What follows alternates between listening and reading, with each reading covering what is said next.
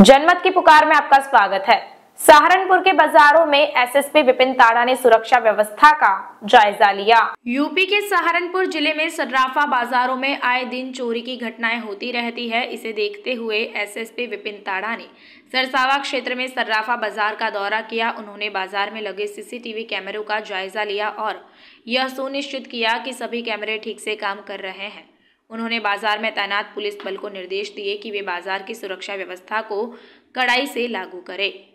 SSP Vipin ताड़ा ने कहा कि सर्राफा बाजारों में चोरी की घटनाओं को रोकने के लिए पुलिस पूरी तरह से मुस्तैद है। उन्होंने कहा कि बाज़ार में लगे सीसीटीवी कैमरों की निगरानी लगातार की जा रही है।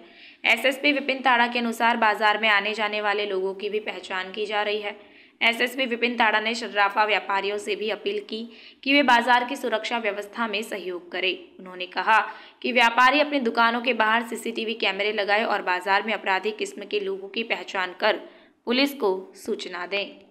अगर आपने हमारा अभी तक चैनल सब्सक्राइब नहीं किया है तो कृपया चैनल सब्सक्राइब कर लें, लाइक करें, शेयर करें, कमेंट करें। तो मिलते हैं फिर किसी और खबरों के साथ। नमस्कार।